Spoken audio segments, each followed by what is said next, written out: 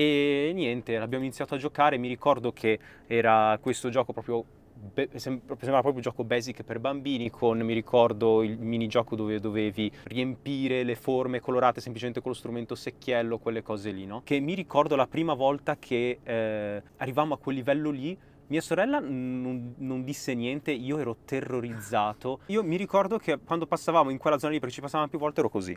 Ok, fermiamoci un attimo e spieghiamo cosa sta succedendo. Il ragazzo che sta parlando si chiama Matteo e mi ha recentemente contattato per raccontarmi una storia. Una storia che credeva mi avrebbe interessato. E aveva molta ragione. Ma facciamo un passo indietro e prendiamo questo discorso molto più alla larga. Perché mi piace l'horror?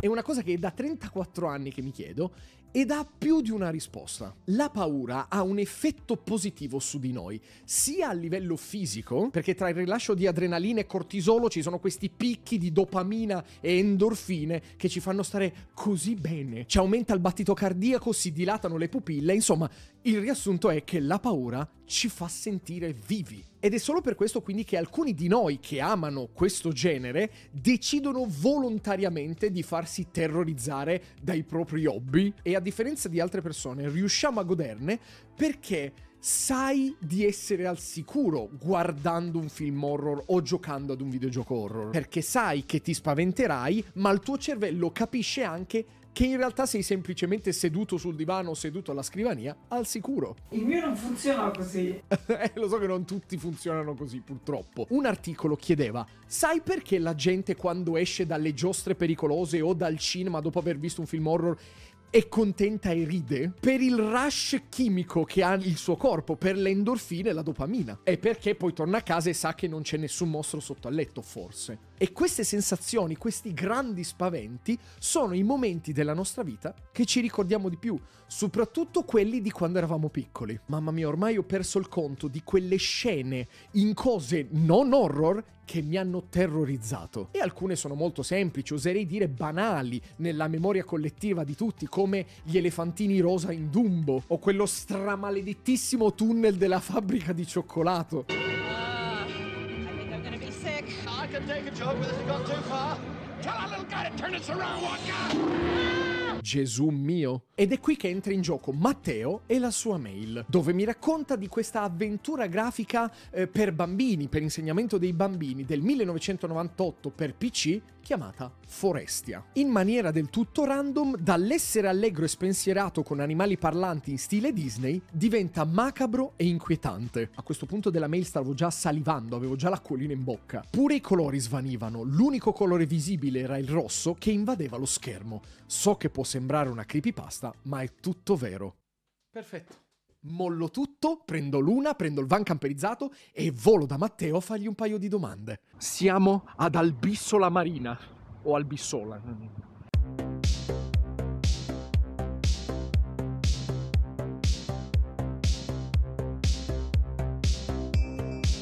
Mi ricordo che eh, quando iniziavi il livello arrivava questo drago che ti annunciava tipo l'apocalisse, la fine del mondo. Prima di contattarti stavo parlando con mia sorella e ho pensato, ah come si chiamava quel gioco? Appena l'ho trovato su YouTube fuori, ho scritto gioco spaventoso per bambini, l'ho trovato. L'hai trovato subito? Sì. Oh. Come indicizzato bene. Eh, quindi questa cosa ti assegna, cioè te la ricordi quasi a memoria questa cosa sì, qui. Sì, perché poi del resto del gioco non mi ricordo quasi niente. Cioè era tipo come essere tornati dal Vietnam, no? Perché tu... sì, poi ogni tanto magari dieci anni dopo rimani fermo, bloccato e ti passano esatto. davanti queste immagini della, della grande quercia. Mezzo... Papà, que... papà quercia nella testa. Quindi tu non hai la copia, non hai più la copia? No, non ce l'ho più. È un peccato perché... Sì, sono sicuro che fa... era localizzato in italiano, sicuro E avevi molto ragione, avevi ragione perché c'è localizzato in italiano il gioco, ma è rarissimo rarissimo da trovare, soprattutto sì. fisico, e digitale non c'è da nessuna parte.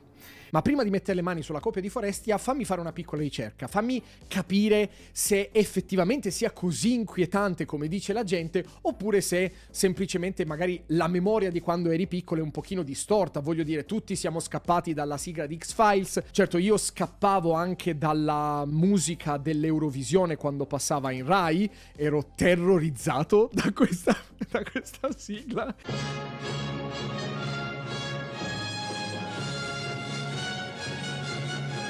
Ve lo giuro su Dio, lo possiamo chiedere a mia madre, giuro su Dio. Eh, ciao mamma, guarda, sto registrando un video, volevo farti una domanda al volo.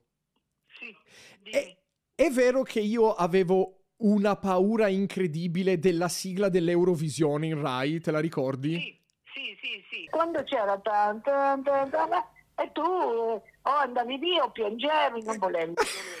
Non era un fatto tuo di, di sensibilità, perché siamo degli idioti nella famiglia lì. Eh, siamo un po' scemi, sì, è vero. Tralasciando turbe mie, ho scoperto, cercando, che Forestia è molto rinomato per quella fantomatica scena horror. Forestia, un gioco educativo perfettamente innocente degli anni 90, eccetto puntini puntini. Ci sono anche un paio di video di YouTube che lo analizzano, certo con pochissime visual di qualche anno fa, però vedi il, il gioco per bambini non horror più spaventoso. This game goes by the name of Forestia.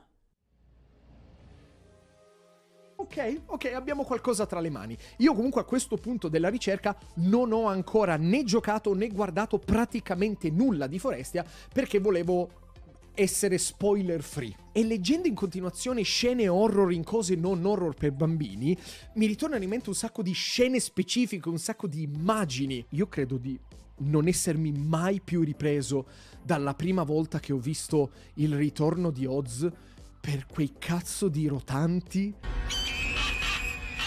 E- non è solo che fossero degli uomini su delle ruote, come uno di quegli esperimenti horror nazisti andati male, ma è come li presentano con quelle maschere, con quei primi piani, ma voi siete matti! E che poi crescendo in questo modo, da adulto, queste immagini le percepisci ovunque, anche in cose che sembrerebbero molto semplici, per esempio Horny Buddy, questo innocentissimo peluche di cane a cui tu puoi mettere una penna per trasformarla nella sua erezione.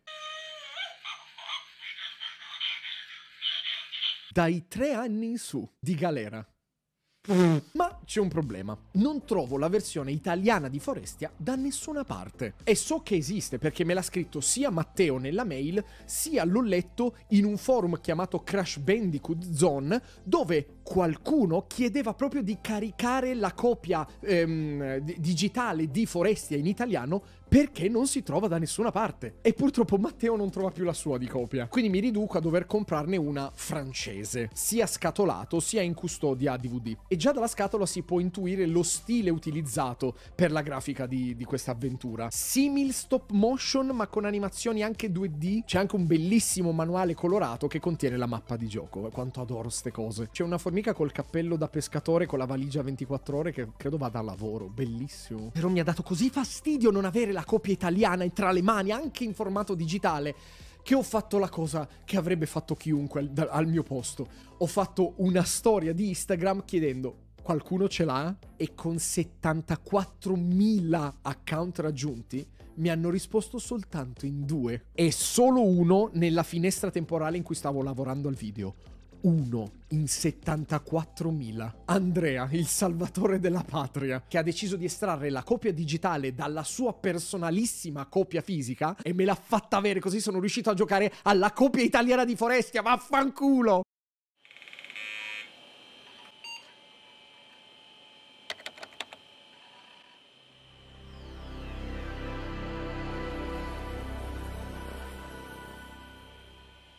Rispolvero il mio computer con Windows 98, installo Forestia, cosa tra l'altro che non facevo da tanti anni, e lo faccio partire. Inizio una nuova partita, lui mi chiede di mettere il nome e la mia età, scrivo Karim e questo nome è già stato usato. Sono in pericolo, ditemelo se sono in pericolo. Co- In che senso è già stato usato? Quindi il gioco mi conosce benissimo, faccio finta di niente, metto io Toby e inizio una nuova partita. Ciao e benvenuto, visitatore. Così sei venuto a dare un'occhiata alla nostra bella foresta. Vengo immediatamente accolto da Sam, questo terrificante coniglio che ci farà un po' da Virgilio, che ci accompagnerà nella foresta e ci insegnerà eh, l'utilizzo di tutte le icone e di tutti i tasti. Conosco questa foresta come le mie tasche. Occhio a destra! Dice di avere qualcosa per me, tira fuori un'ampolla, ne fa cadere una goccia per terra, c'è un'esplosione di luce e un uccellino muore. Esplorando un pochino la mappa, incontro uno dei personaggi chiave di tutta l'avventura, Papa Quercia. Questo accogliente e saggio obrobrio disfunzionale dispensa consigli, accompagnato da una non meno inquietante betulla. Ehi, amico mio, perché non vai a giocare con lui? Ma non facciamo in tempo a scambiare due convenevoli che arriva questo fastidiosissimo scoiattolo che inizia a rompere le balle. Non lo sai, non lo sai. Stanno zitti, stanno zitti. Papà Quercia e Betulla, che non volevano far altro che farsi un sonno, dicono: Senti, portatelo di là sto rincoglionito, fa, vedi cosa vuole, inseguilo perché noi vogliamo riposare. Così staremo un po' in pace. Oh, sì, sì, sì, grande, grande. Quindi tu lo insegui in mezzo alla foresta fino a casa sua e lui ti invita a giocare a una sottospecie di gioco dell'oca, dove devi tirare il dado e in base alla casella in cui finisci devi rispondere delle domande, devo dire anche abbastanza specifiche sugli animali. A volte molto semplici, tipo come respirano i pesci, a volte molto più complesse, per esempio ti fa sentire il verso di un animale e tu devi indovinarlo. E io l'ho indovinato, per culo. Esatto, hai un altro tiro.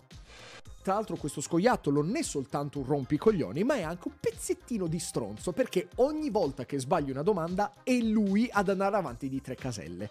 Così, perché se le inventate lui le regole. La risposta non è esatta, vado avanti io di tre caselle. E immediatamente si fa notte. Papa Quercia nota che Sam è sopra una torre di avvistamento e ti chiede di raggiungerlo. Io ci ho messo un bel po' per raggiungerlo, perché la foresta è un po' complicata da navigare fotografia per fotografia, un po' come se fosse Google Street View, ed essendo notte fatta con un filtro blu e basta, non si capisce esattamente cosa i tuoi occhi stiano guardando a volte. E tutto questo senza musica, ma solo con i rumori di fondo, e sembra davvero di essere dentro una foresta perduti. Ma tutto questo si annulla quando camminando trovo una musicassetta.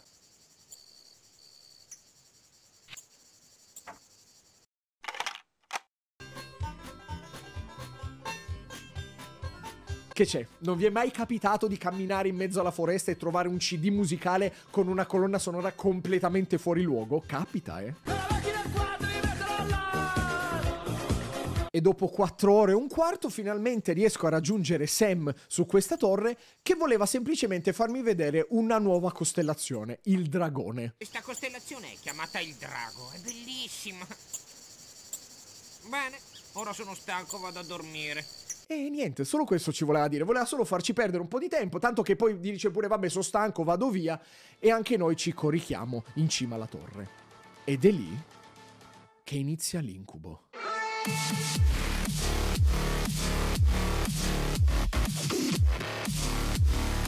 E questa sezione che sta per iniziare di gioco non è una cosa che arriva gradualmente, ma di punto in bianco vai a dormire e ti svegli all'inferno.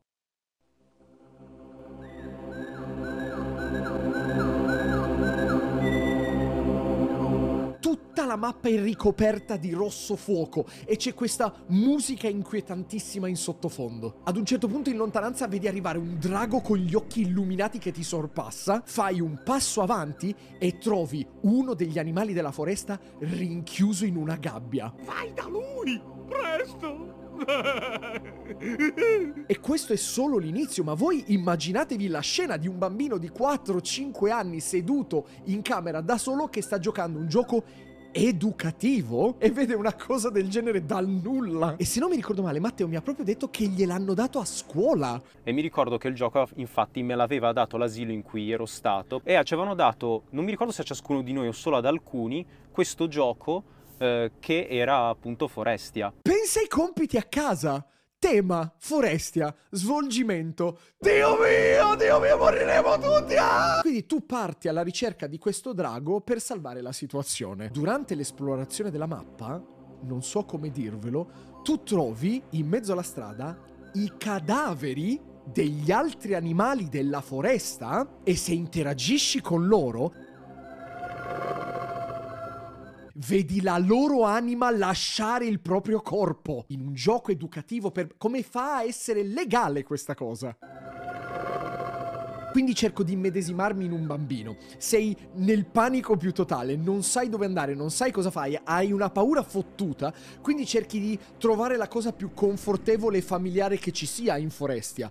Papa Quercia. Di solito nel gioco quando tu sei bloccato vai da loro e sono quelli che ti dicono come Si proseguire, danno no? consigli. Esatto. Ma è morto. Cazzo. È come se il virus di The Last of Us avesse colpito gli alberi parlanti di Gardaland. La distruzione è totale, è tutto in rovina e sono tutti morti. È anche vero che se sbagli strada nella mappa all'improvviso appare un mago rapper che con il suo beat leggermente fuori luogo potrebbe rovinare l'atmosfera. Oh, cavaliere, stai perdendo la strada. La torre di Moror non è da quella parte. Ma non ci pensiamo, non ci pensiamo. In una delle strade secondarie c'è anche un jumpscare. Mi trovo davanti ad un portone, vedo un signore oscuro uscire e lasciare la chiave nascosta, rubo la chiave, apro il portone e mi ritrovo davanti ad uno scheletro parlante. Se tutti i cristalli metterai al loro giusto posto, noi certamente potremo star meglio. Salgo sopra la torre e vedo una serie di cristalli. Ed è lì che mi ricordo un'altra cosa che mi ha detto Matteo. Uno nei commenti ha scritto ho provato a mettere i cristalli nella posizione sbagliata e me ne sono pentito. E tutti nei commenti gli hanno scritto ma cos'è successo? E questo non ha risposto. me la segno. Piccolo borioso, tutto ciò mi rende ancora più forte. Hai perso questa occasione. Addio.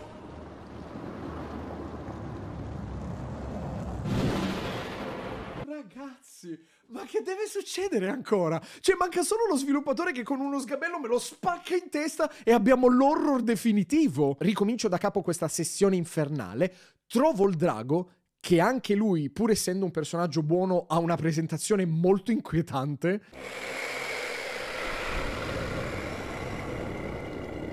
Mi dice dove andare, trovo la posizione esatta dei cristalli, torno alla torre, li posiziono e finisce l'incubo. E si scopre essere letteralmente un incubo, perché stavamo sognando. Ma non ti preoccupare, i draghi non esistono. O così pensavo. Ho liberato Forestia dalla maledizione di Morhurl, il terribile stregone.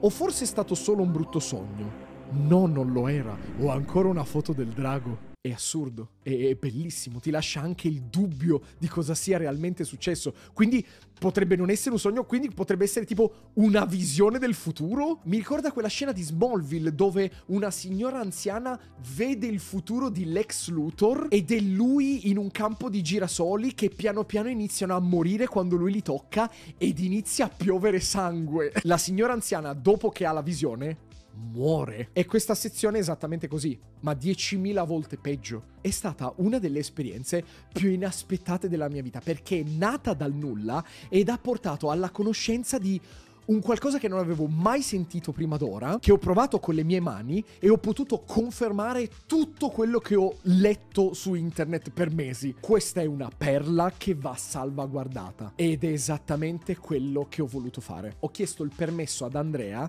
di poter caricare la versione digitale di Forestia in italiano su Internet Archives in modo da salvaguardarla, averla a disposizione di tutti nei secoli dei secoli fondamentalmente e sono molto felice di questo.